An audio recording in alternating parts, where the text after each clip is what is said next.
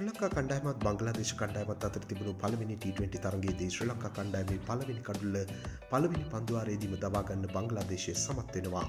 ඊට පස්සේ කමිදු මෙන්දිස් කුසල් මෙන්දිස් දෙන්න ශ්‍ර ලංකා ඉනිම ගොඩනගන්න උත්සා කළත් කමිදු ඉක්මනින් දැවියාම එක්ක කුසල් එක්ක එකතු වෙන්නේ සදිර සමර වික්‍රම.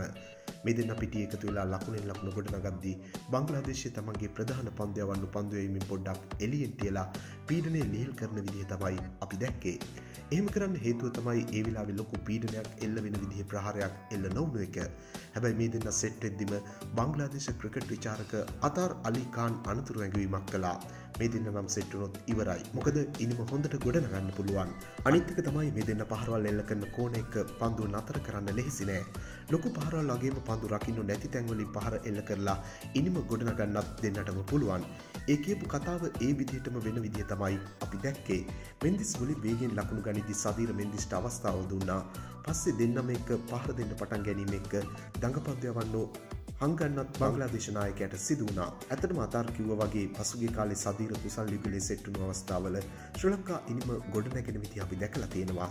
පාසල් කාලේ ඉදං එකම සමයක සෙල්ලම් කළ යොම් ලෝක කුස්ලානයට එකට සෙල්ලම් කළ මේ දෙන්න ශ්‍ර ලංකා ක්‍රිකට්වලට ගොඩක් දේවල් කරන්න පුළුවන් යුගලයක්. අපි බලමු මේ යුගලයට ඉදිරි තරගවල මොඩ විදිහට ප්‍රතිවාදියෝ පීඩනයට පත් කරන්න පුළුවන්ද කියලා.